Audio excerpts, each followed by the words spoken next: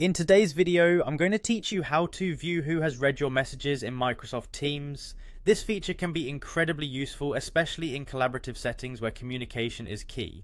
Let's dive in and explore how you can easily check who has seen your messages on this platform. First things first, you'll need to sign in to Microsoft Teams.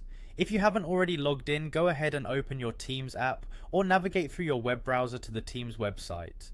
Enter your login credentials to access your account. Once you're logged in, ensure that you're in the right team or channel where the message you want to check is located. This sets the stage for viewing the read receipts and helps you follow along perfectly.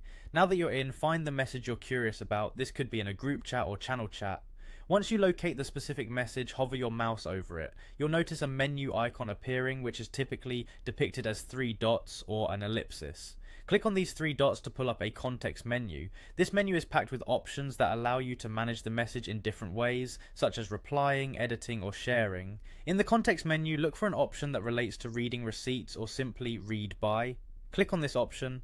Microsoft Teams will then display a list of users who have read your message. This feature provides valuable insight into who has viewed your communication, making sure you are aware of how your messages are being received within the team.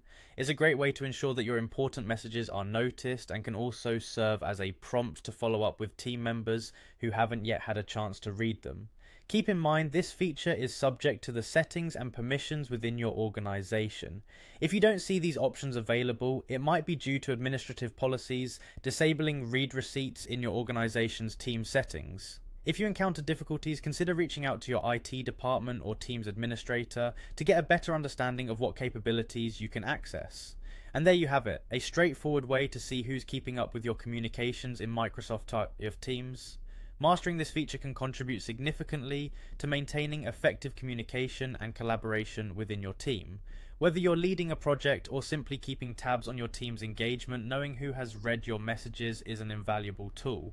Thanks for watching. I hope you found this guide helpful. Make sure to like this video and subscribe for more tips and tutorials. If you have any questions or need further clarification, feel free to leave a comment below and we'll be happy to help. Until next time, happy Teams messaging.